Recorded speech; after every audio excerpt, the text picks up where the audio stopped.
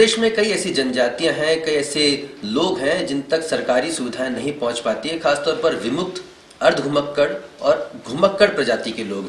इनको किस तरह से चिन्हित किया जाएगा और किस तरह से इन तक सरकार की योजनाओं को फ़ायदा पहुँचाया जाएगा, इस मुद्दे पर बातचीत करने के लिए राज्य मंत्री ललिता यादव जी हमारे साथ मौजूद है। ललिता जी, सबसे पहली बात तो इनको चिन्हित कैसे किया जाए? देखिए, अभी तेईस तारीख को देवास में विमुक्त घुमक्कड़ अर्ध घुमक्कड़ वर्ग का बहुत बड़ा सम्मेलन हुआ था, जिसमें करीब साठ हज़ार लोगों ने शिरकत की थी। उसमें माननीय मुख्यमंत्री जी से मैंने निवेदन किया था कि हम इनको चिन्हित जब ही कर पाएँगे जब इनका सर्वे हो जाएगा। और माननीय मुख्यमंत्री जी ने घोषणा की है कि सभी ज़िले के कलेक्टरों को एक पत्र लिखा जाएगा और सेक्रेटरी और सरपंच के माध्यम से इनका सर्वे होगा।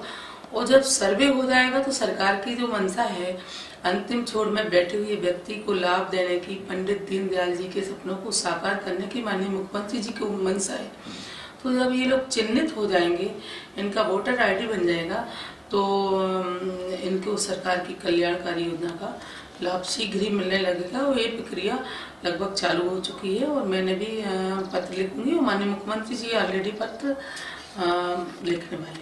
इसमें एक व्यवहारिक दिक्कत ये आती है कि चूँकि इनका कोई स्थायी निवास नहीं होता है तो ऐसे में योजना उन तक कैसे पहुँचे वोटर कार्ड का इसमें एड्रेस क्या लिखा जाए ये तमाम कुछ व्यवहारिक दिक्कतें देखिए ये जहाँ इनको जगह मिलती है वहाँ जाके ये लोग रुक जाते हैं। इसलिए इनको घुमक्कड़ लोग कहा जाता है।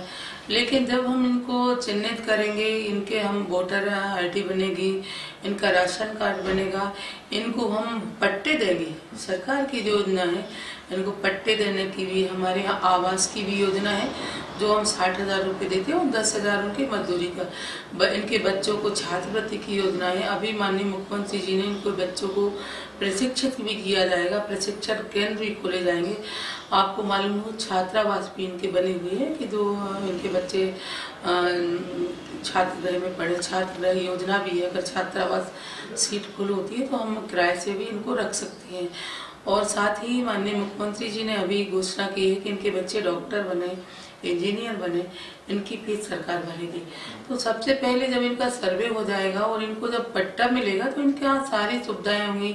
इनके यहाँ भी रोड बनेगी इनके यहाँ भी नालियाँ बनेगी इनके यहाँ भी मांगलिक भवन बनेंगे। तो ये इनने वादा किया है माननीय मुख्यमंत्री जी से कि हम स्थायी रहेंगे?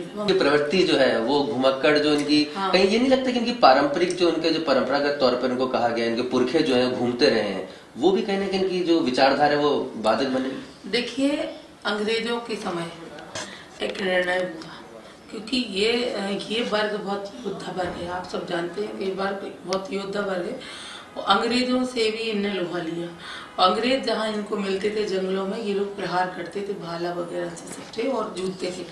तो अंग्रेज़ों ने उस समय इनकी जाति को एक अपन कहे कि जिस तरह से अभी अपन घोषित कर देते कि ये अपराधी क्रिमिनल है। इसलिए इनको बहिष्कृत कर दिया गया। और पहले ये हुआ कि ये जाति के लोग जहाँ जाएँगे वहाँ पर वहाँ के मुखिया को पत्र देंगे, वहाँ थाने में हाजिरी लगाएँगे। हम इतने दिन के लिए रुकने के लिए है ऐसा इनका प्रावधान था और इतने दिन में हम चले जाएँगे। क्योंकि कोई भी वारदात शहर में होगी तो किसी को नहीं पकड़ेंगे लोग तो पुलिस इनको पकड़ लेगी।